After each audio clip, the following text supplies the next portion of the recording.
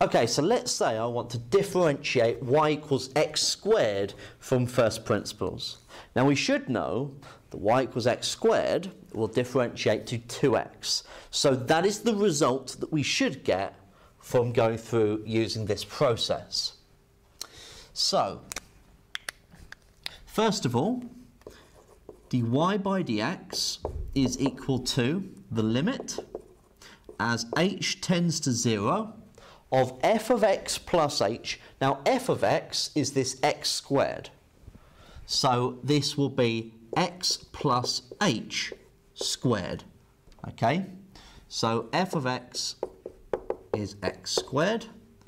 f of x plus h is x plus h squared.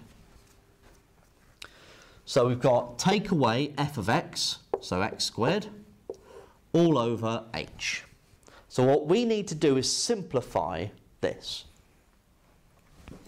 So we've got the limit as h tends to 0. That limit should maintain through the whole, um, the whole process. Okay.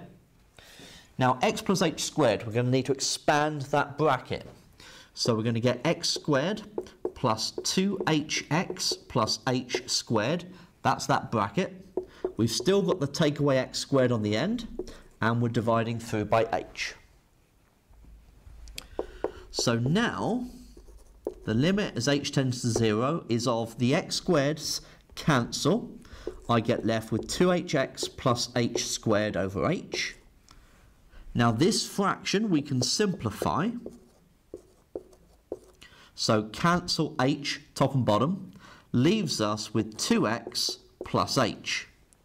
So if you're thinking about what happens to 2x plus h as h tends to 0, well, the h gets smaller and smaller and smaller and smaller, and so this goes to just 2x. The h, uh, you effectively, I mean, this is a really bad form to say it, the h is kind of substituted for 0. That's a, well, that's a really bad way of saying it.